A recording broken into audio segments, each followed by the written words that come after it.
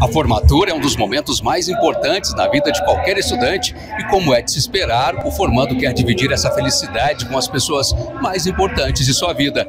Josiane, uma das formandas do curso de artes visuais aqui do Claretiano, escolheu levar o Ted, seu cachorrinho, para participar da colação de grau. É, o Ted está comigo há seis anos e desde o início do curso ele sempre, quando eu ia estudar para a prova, fazendo os trabalhos, sempre por perto.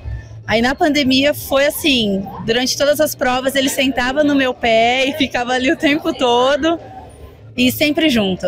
O TED foi a motivação. Foi, o TED foi a motivação. É engraçado que às vezes eu lia as coisas, não entendia, ficava nervosa. Aí eu olhava para ele, aí ele olhava para mim.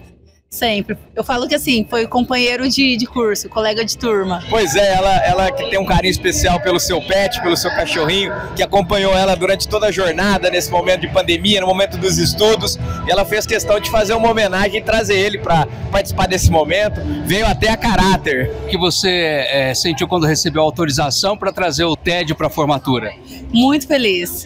Eu tinha muito essa vontade de trazê-lo porque por ser um curso à distância, a gente não tem colegas, né, fisicamente, porém eu tive ele. E foi quem ficou comigo o tempo todo, desde o início. Então eu fiquei muito, muito feliz.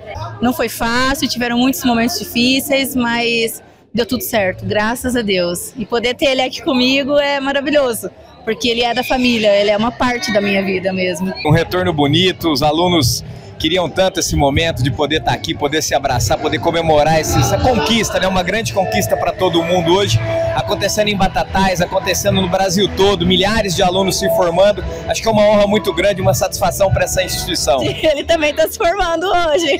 Informações que fazem a diferença no seu dia a dia, Rádio e TV Claritiana.